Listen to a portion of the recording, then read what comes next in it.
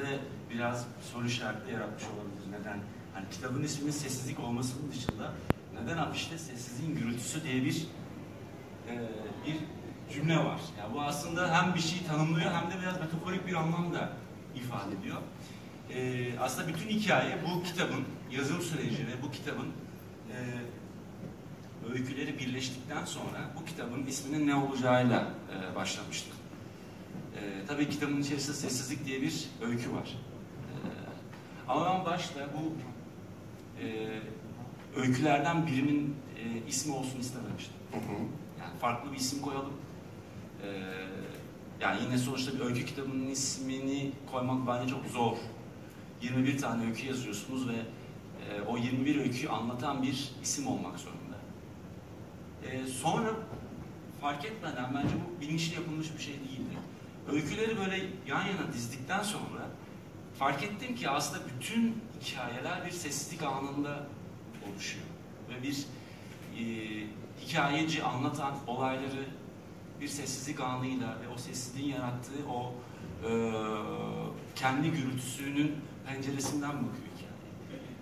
E, sonra acaba dedik sessizlik öyküsünün ismini mi değiştirsek? Hı hı. Böyle bir tartışma da oldu. Çünkü istemiyorduk gerçekten. Bir şeyi tanımlamak yani o öykü üzerinden, orada yazdığımız öykü üzerinden e, kitaba bakılmasını ben çok istememiştim. Orada çocukların e, başından geçen bir hikaye vardı. E, ve bütün hikayelerde fark etmeden e, bir sessizlik anı ve sessizliğin kelime olarak da fazlasıyla bulunduğu bir kitap. Ee, evet tam ben de onu söylemek istiyordum. Aslında öykülere baktığımızda sessizlik kelimesini ve daha doğrusu sessiz anları oldukça sık rastladığımız duruyor yani. Bu sizin yazma anınızla ya da sizin yaşam tercihlerinizle mi ilgili? Ya bir, bir taraftan da şöyle bir şey vardır ya ben bir oyuncuyum e, ve sessizlik kelimesi aslında çok sinematografik bir kelime. E, yani iyi filmler, bütün güçlü filmlerde çok iyi anlar hep bir sessizlik anında oluşuyor. Bir andır o aslında. E, belki de o kendi mesleğimin min bakış açısıyla da ilgili olabilir. Hayatı belki de öyle bir yerden. Yani oyuncu olarak görsel hafızanızın ya da olaylar önce görsel hafızanızla yaratmanızdan da kaynaklanıyor olabilir.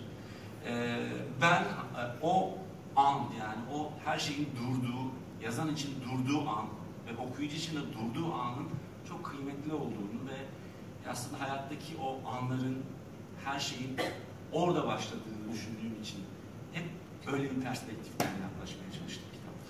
Ben Melis Hanım'ın düşüncesini de merak ediyorum. Kitabın adını sessizlik olarak gördüğünde ve kitabı okuduğunda e, bu isimle ya da bu kavramla ilgili neler düşündüğünü. Ee, yani isim olarak sessizlik aslında biraz e, ben Engin'i tanıdığım için belki de daha önce Kafasına Göre dergisinde de e, öykülerini okuduğum için birazcık daha biliyorum ama e, hiç tanımayan biri için ya da onun öykülerini okumamış biri için aslında ağır gelebileceğini düşündüğüm bir isim. Çünkü sessizlik kendi altında çok fazla duyguyu ya da çok fazla anlamı barındırabilir diye düşünüyorum. Edebiyat dünyasında eminim çok daha başka bir şey vardır bir şeyi anlatmak üzerine. Ee, ama aynı zamanda işte o e, isimle birlikte bu, bu bir seçim içindeki sadece bir öykünün olduğu yani bir öykünün adı olmasıyla ilgili olduğunu düşünmüyorum. Başka bir e, duygu ya da başka bir şeyi anlatmak için o sessizlik falan diye ağır olmadığını gösteriyor. O yüzden e, Durgun bir şey olmadığı. durgun bir şey olmadığı ya da salt ağır sessizlik, yazarın yaşadığı sessizlik ya da falan üzerine bir şey olmadığını zaten bu kapakta görebiliyoruz. Yani. Aslında ben sizle ilgili şöyle bir şey de düşünüyorum. Sizin oynadığınız rollere baktığımızda da yani işte bu adımı sen koyda da ıssız adamda da hatta barda da oynadığınız rolde de mesela bunlarda da şunu görüyoruz. Bu kadınlar da hep aslında sessizlikleriyle e, tavırlarını koyan ve bu sessizlik kavramının ve bu anın çok önemli olduğu rollerdi. O yüzden sizin için de bu kavramın başka bir şey ifade ettiğini düşünüyorum. Sessizlik kavramı. Yani ki. gücünü. Ya mu- mutlaka ve bizim toplumumuzda da hani kadının sessiz olması ile ilgili e, ta- talep edilen hatta istenilen de bir şey çoğu zaman. Hı hı. E, bu böyle süre gelmiş bir şeydir. Şimdi aslında yeni yeni belki bir şeyler birazcık daha değişiyor ama e, bir kadın oyuncu olarak e, hani bizim yaşadığımız şeylerin içindeki o anlam ve o e, şey çok daha fazla tabii ki. E, ama dediğim gibi bu buradaki sessizliğin anlamı bence Ee, ve herkese göre de değişen bir anlamı var. Yani e, kimi için huzursuz bir anlamda yaratabilir sessizlik. Yani sessizliği tahammül edemeyen insanlar da vardır. Ve sessizlik birileri için huzurludur, birileri için bir arayıştır. Biraz da modern insanın aslında biraz keşfettiği bir kelime. kimi için de huzurdur belki. Huzurdur. Yani bir kasabada ya da köyde, yani köyde özellikle yaşayan birinin sessizlik kavramını ve kelimesiyle çok e, ilişki kurduğunu çok düşünmüyorum. Onunla zaten var olan bir şey. Ama bu biraz modern insanın, bizim yani kentlerde yaşayan insanların derdi olan ve bizim arayışımızdan çıkan bir. Bizim icat ettiğimiz bir kelime aslında. Ben biraz da içeriye, öykülerin içeriğine girmek istiyorum yavaş yavaş. Şimdi e, ben kitabı okuyan herkesin ortak bir sorusu olduğunu düşünüyorum. Benim de kafamda bu soru var ve bunu sormak daha önce fırsat Hakan olmamıştı. kim?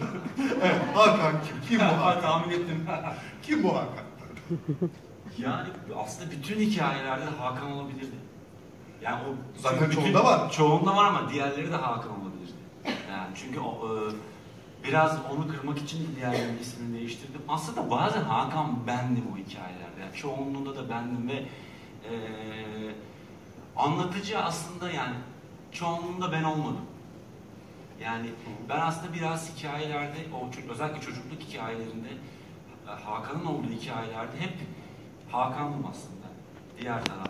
E, e, sokakta tanıdığım, e, ilkokulda, ortaokulda tanıdığım arkadaşlarımın toplamı. Biraz 80'lere 90'lara değen e, o çocukların bence ruh da. Onların sanki böyle bir birleşimi gibi. E, onları temsilen aslında biraz da Hakan. Ya ama çoğunlukla benim yani. Benim kendi iç dünyam. E. Evet çünkü yine bence okurun kafasında oluşan önemli bir sorunun bu olduğunu düşünüyorum. Bu öyküler ne kadar gerçek? Yani çünkü biz okurken bayağı bir kişinin gerçek hayatını adım adım takip ediyoruz, hissine kapılıyoruz. Ee, ama hazır burada fırsatımız varken yazarına bunu sormak isteriz. Bu öyküler ne kadar gerçek? Bunu ben de çok merak ediyorum. Yani hiçbiri gerçek değil. Yani gerçek yani bu bunun bir röpor- röportajda da söyledim. Yani oyunculukta da işte şöyle bir şey vardır. ya, İlla bir duyguyu ya da bir anı gerçekten birebir yaşamanıza gerek yok. Ee, yani sadece oradaki mesele duyguyu anlayabilmek ya da o duyguyu da empati kurabilmek. Ee, buradaki duyguların hepsi benim hayatımda var. Oradaki anlar ama sadece yaşadığım anları ya da yaşadığım durumları e, nasıl bir kurgunun içerisinde anlatabilirim. Tabii ben ilk yazmaya başladığımda e, hep şöyle yaklaşıyordum meseleye. O da e, birçok hikayeyi anlatabilecek bir dil yeteneğine ve e, belki de süreçte beceremediğim için bıraktığım bir sürü şey oldu. Yani e, çözemediğim, ben bu hikayeyi böyle anlatamayacağım galiba, bu dursun dediğim çok fazla hikaye oldu. Ama mesele şu, değdiğiniz, size dokunan duyguları bir kurgunun içerisinde, başka bir olayın içerisinde anlatabilmek. Bu bana daha kıymetli geliyor. Ee, daha değerli geliyor. Öbür türlü e, çok böyle ne bileyim yatak odanızda ve böyle bir yerden kendinizi izliyormuşsunuz hissiyatını yaşamak istemedim. Yani e, yani olaylar bir şekilde yazılabilir. Hepsi farklı farklı kurguların içerisine yerleştirilmiş şeyler. Yani aslında hiçbiri gerçek hikayeler değiller. Aslında bu anlamda baktığımızda oyunculuktan çok da uzak bir şey değil. Değil zaten Yani, oyunculuk ve evet. yani edebiyat da çok birbirinden. Aslında şey olarak kafanın aslında çalışma mantığı aynı. Yani oyunculukta da siz e, işte var olmayan, seyircinin asla görmeyeceği, e, seyircinin ilişki kurmayacağı bir takım noktaları doldurmakla, bunları yazmakla mükellefsiniz. Oyuncu olarak ki bunu kafanızda yazdığınızda o karakter üç boyutlu bir hale gelebiliyor. E zaten o anlamda böyle bir şeyiniz var. Düşünce yapınızda böyle bir şey var. Sadece yazmak, bunu kelimelere dökmek aslında. Hı hı. Ama bu senin seçimin diye düşünüyorum. Yani tamamen kendi hikayelerinden yola çıkarak bunu anlatan... Tabii ki orada sonuçta Yani- biri hayal ediyor Evet evet bunu. yani sinema için yani bunun için yönetmen ya da bunu mutlaka yazan yazarlar da vardır. Yani bu biraz seninki böyle bir seçim. Ya bazen birine hikaye anlatırsınız, arkadaşınıza hikaye anlatırsınız. Ee, hikayeci arkadaşlarımız vardır ya. Yani bunlar çok iyi hikaye anlatırlar. Ee, o kadar iyi hikaye anlatırlar ki ben bazen bunu yazma gereği duymaz. Yani ben derim o hikaye anlatan ve çok iyi hikaye anlatan, hatta o hikayeyi bazen hep değiştirerek anlatan arkadaşlar var. Biraz da böyle o hikaye zaman içerisinde, 2-3 yıl içerisinde değişir. Ya da bazı, e, senin hikayendir. Onu bazen kendi hikayesi gibi de anlatır. Ama o hikaye böyle şekil değiştirerek devam eder. Ve çok iyi, o iyi hikaye anlatanlara hep derim, bazen anlatmamak gerekir.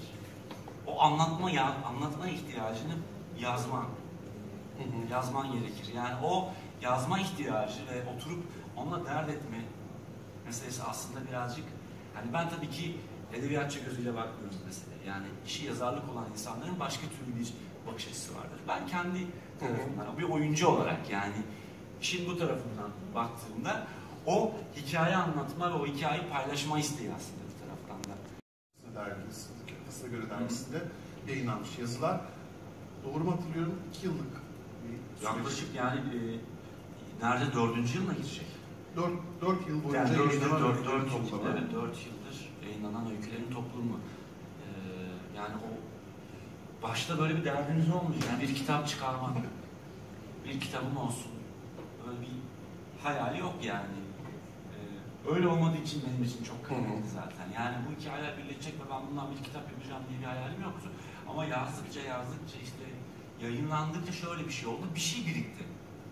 Bir kitap olmaya hak edilecek bir sayıya ulaştı ve sonra e, dönüp dönüp okuduğunda da aslında bunlar hep aynı tatta ve aynı e, frekansta yazılmış şeyler ve bir bütün olarak baktığında aslında bir adamı, bir durumu ve bir duyguyu da tamamlıyor. Ee, evet bir öykü kitabı olabilir. Fikri oldu yani. Ya evet evet bu aslında gerçekten neden bir öykü kitabı olduğunun da cevabı oluyor. Çünkü zaten hani kurgulanmamış, kitap basmak üzerine yola çıkılmamış, bayağı damlaya damlaya göl olur misali ee, birikmiş öyküler. Ee, Bir tanesini okuyun onu sizden bekliyoruz. Peki. en sevdiğin öykü. Evet. Sizin için önemli olan bir öykü var mı? Hepsi. Yani zor bir soru. Ee, ya burada herkes okudu mu bilmiyorum kitap okuyan var mı? Hani Okudum. herkes okuyor. Ne güzel herkes okumuş. Aslında bütün öykülerin toplamı ve e, tabii ki çocukluk hikayeleri birazcık çok temelini oluşturuyor meselenin ama benim için e, bugün karakterin işte şu anki benim yaşımdan meseleye baktığı hikayeler sanki daha kıymetli gibi geliyor bana. Yani daha beni daha güncel, daha bugün, daha 2018. Onlara daha farklı türlü, başka bir açıdan bakıyorum çünkü. Sizin var mı? Sizin var mı? Seçemedim. Ya aslında bunu ben de çok düşündüm, ben de seçemedim. Seçemedim, Hani bulamadım şu an. e, sadece şeyi söyleyebilirim. Hani biraz daha fantastik gibi gördüm yani işin içinde daha başka boyutları var. Mesela öykülerde buluşalım gibi öyküler benim e, daha dikkatimi çekiyor, daha e, ilgimi uyandırıyor çünkü beklenmedik şekilde gelişiyor. E, Ben de içinde Ankara'nın olduğu, işte Sefa'nın olduğu şeyleri ben de daha çok seviyorum. Ama yani seçemedim mesela şu anda hani böyle bakıp Evet. hangisi diye. Zor bir şey senin, senin için.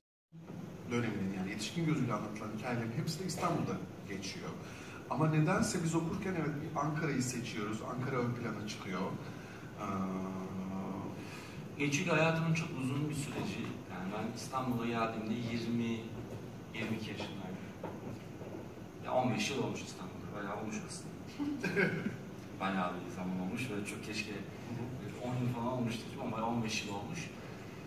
Ee, şimdi İstanbul tabii ki yani geldiğinizde zaten hayattaki öyle ya da böyle tercihlerinizi yapmış bir insan olarak geliyorsunuz. Karakterinizin belli noktaları daha yerli yerine oturuyor.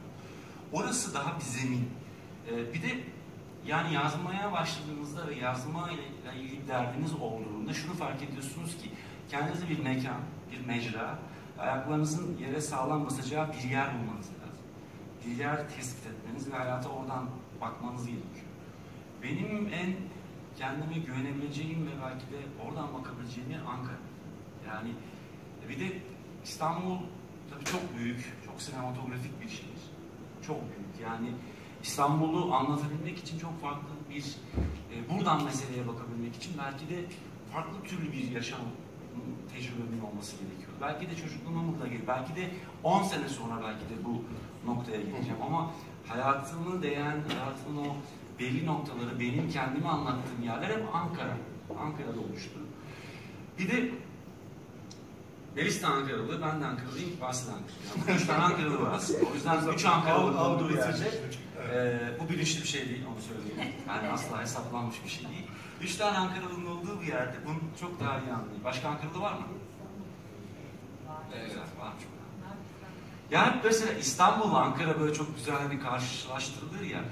E, ya İstanbul o kadar sinematografik ve o kadar hani e, özel bir yer ki e, ve burada yaşadığınızda bunu fark ediyorsunuz. Ankara'da e, olduğunuzda galiba yapmanız gereken şeylerden biri galiba yazmak. Yani kafanız önüne bir şeyler yazmak ya da bir şeyler okumak. E, bu Ankara'yı sıkıcı bir yer olduğu için ya da Ankara'yı öyle tanımadığım için söylemiyorum. Ee, biraz Ankaralı olmanın böyle bir e, süreci var aslında.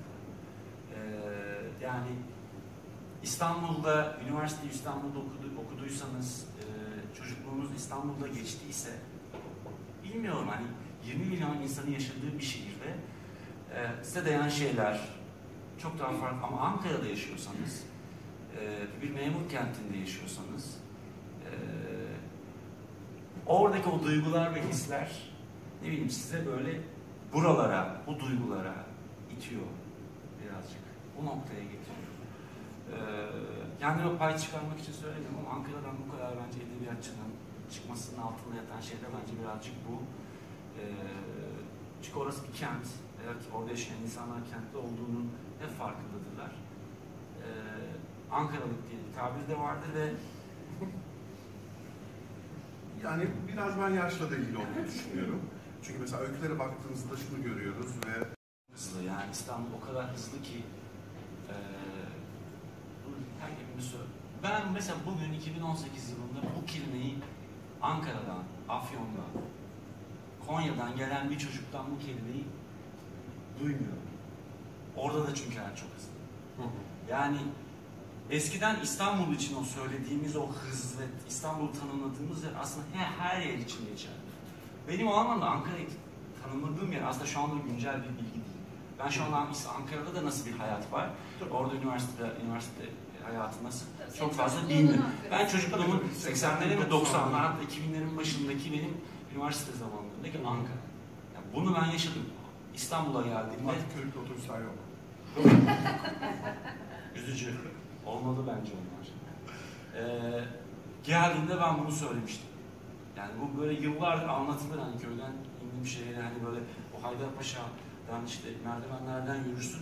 70'te Seni yeneceğim İstanbul. Ye, yeneceğim ama o hız sana onu veriyor ya o kentin vermiş olduğu her şeyin vermiş olduğu hız. Bugün 2018'de bunu gerçekten duyduğunuz mu çok merak ediyorum. Yani Afyon'dan gelen biri İstanbul çok hızlı. Yani çünkü o farkında, sosyal medyadan farkında, orada da her şey çok hızlı. Dünya, Dünya çok hızlı. Bu kavramlar artık çok fazla hayatımızda yok. Ee, biraz da bu duygu da var aslında benim içimde. Bunu da katmaya çalıştım. Evet. Ee, Ben çok mu konuştum? biz, hayır, e, biz bu söyleşiyi planlarken daha çok sizlerle bir olsun, iç içe olsun. Hani biz e, şey buraya söyleşiye gelenlerle Böyle bir niyet var. Ailecek. Que lo- eh, muchas gracias, porque te conocen mucho allá. Eh, es necesario que haya muchos libros para que... Tengo muchas amigas que te conocen y te aman. Sizi çok seviyoruz, çok teşekkür ederiz. Arjantin'de size herkes tanıyor. Sağ olsun. Geldiğiniz için teşekkür ederiz. peki Bir hikaye var elinizde. Ee, ama oyuncu olarak yaklaşım noktanız işte 37 yaşında bir adamı oynayacaksanız o 37 yıllık sürecini belli noktalarda görsel anlamda tamamlamış olmanız gerekiyor. İşte belli kırılma noktalarını, nerede yaşadı, ne oldu, nasıl süreçler geçirdi. Bunları seyirci görmez hiçbir zaman. Ama siz bunları bilmek zorundasınız. Aslında seyircinin de fark etmeden o karaktere inanıp inanmadığı yer tanımlayamaz. Ben bu karaktere inanmıyorum da sevmiyorum der ama inanmadığı yer aslında bence oyuncunun biraz o orayı dolduramadığı yerlerdir. Benim fikrim. E, Ya da orayı açık bıraktığı yerlerdir. Ee, bu bilgi ve beyniniz ve kafanız hep böyle çalıştığı için kendi yazdığınız hikayeye de hep öncesi yani o adamın yaşadığı anın öncesi ve sonrası aslında bir kurgu üzerinden bakabiliyorsunuz. Ben şunu biliyor yani çok sevdiğim yazarların işte otobiyografilerini okuduğumda ya da onların söyleşilerini okuduğumda hepsinin söylediği bir şey vardır. Ben hiçbir zaman hikayelerimin sonunu planlamam hep bir şey yazmaya çalışırım ve rota başka bir noktaya gider. Tabii onlar edebiyatçı ama ben üç aşağı beş yukarı bir kurgunun içerisinde yazıyorum. Bu da birazcık oyuncu olmakla ilgili. Ama süreçte bir şekilde sona değişti. Ama bir kurgu ve bir rota hep oldu kafamda. Ee, bu soru aslında bende şöyle bir şeye çağrıştırdı ve bunu ben de gerçekten merak ettim. Aslında daha özlü şöyle bir şey galiba. Yazarken oynuyor musun? yani yok ya bu karakter bu adam böyle söylemez bunu şöyle söylemeliyim falan. Yok, o her karakteri oynayarak mı yazıyorsun? Çok şey değil. Ee, çok diyalogların olan, çok diyalogların olduğu, çok böyle birkaç hikayemde yapmaya çalıştım. O da hani e, dert şu ya mesela çok iyi yine yazarlar onu çok iyi becerirler. Yani işte, o yereli yazar. Yine diyalek yazar ama o diyalek edebi bir tat bırakır sizde. Asla bir e, o o yerel bir tatta durmaz. Şimdi sokak ağzında bir taksiciyi konuşturuyorsunuz, biletçiyi konuşturuyorsunuz hikayede. Hani ona dikkat etmeye çalıştım. Hani bir şey olmasın. O da gerçek. O köpek e, bir Alman kurdu. Ve bizim mahallemizde köşede bir bina yıkıldı.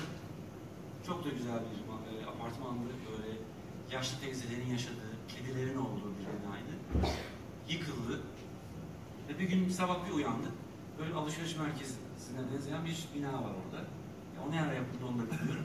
Ve orada e, bekçilik yapsın diye bir Alman kurdu vardı. Herkese, beni de kovalamıştı. Herkese havlıyordu.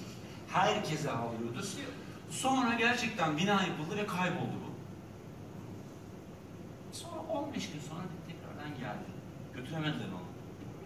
Biraz da yaşlıydı. Alıştı şimdi. Orayı seçmiş. Orayı seçti.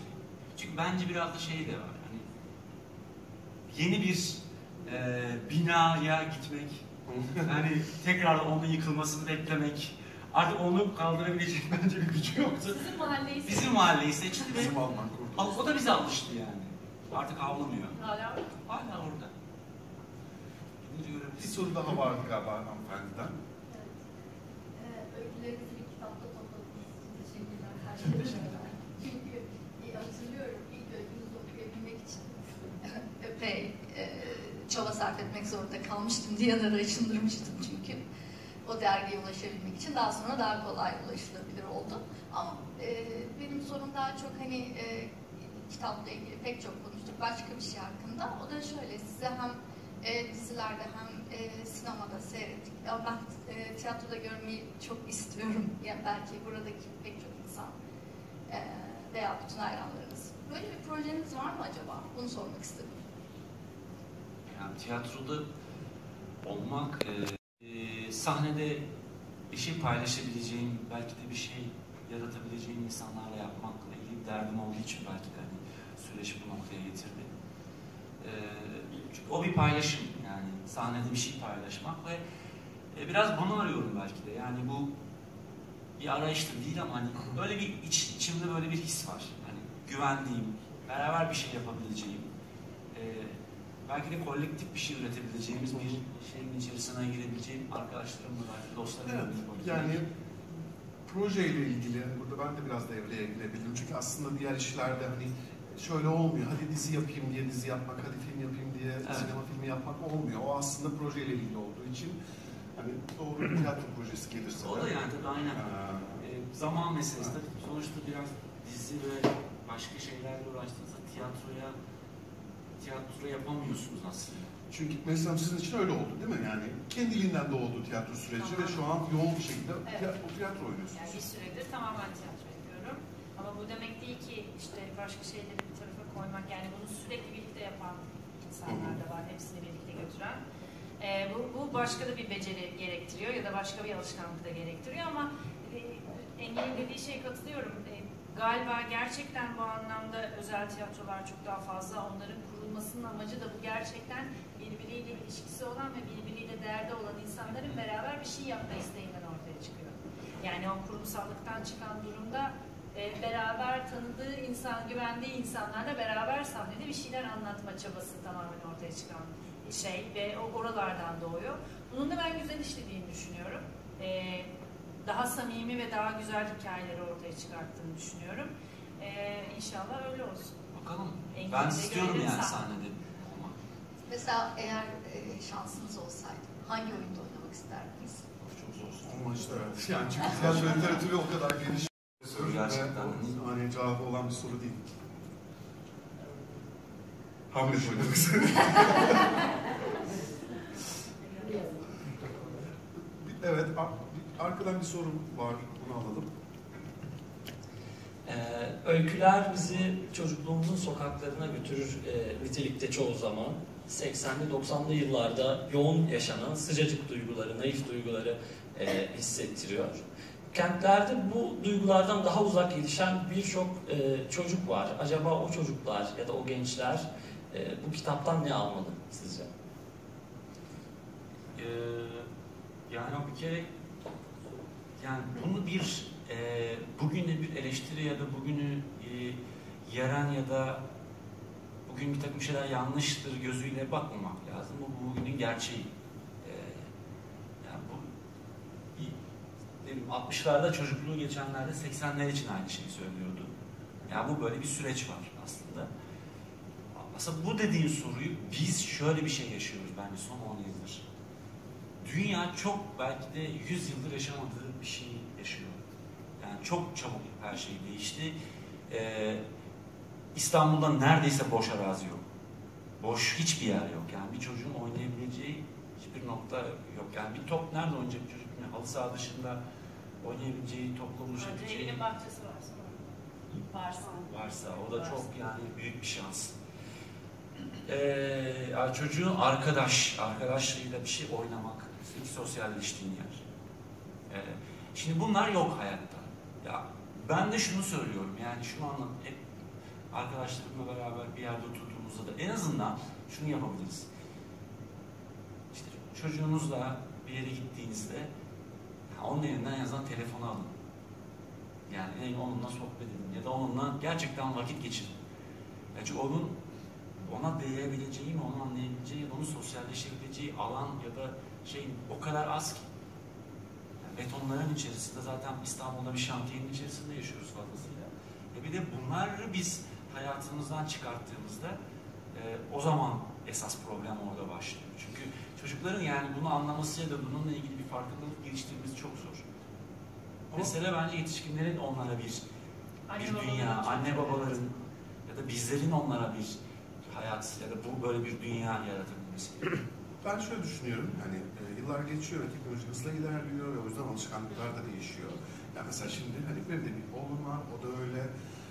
Mesela bundan 30 sene sonra bugünün gençlerinin şey diyeceğini düşünüyorum. Yani teknoloji çok başka e, bir yere gelecek ve onlar diyecek ki yani ne güzel sosyal medya diye bir şey vardı, biz oradan birbirimizin fotoğraflarını beğenirdik diyecekler. Evet, diye diyecekler. düşünüyorum.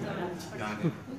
e, Diyecekler büyük. Evet. Ama Çünkü Evet. 30 sene sonra da bambaşka bir şey yaşanıyor olacak. Hani ne yaşanacağını öngöremiyorum Bu hız bile. devam edecekse tabii aynı. Ama eminim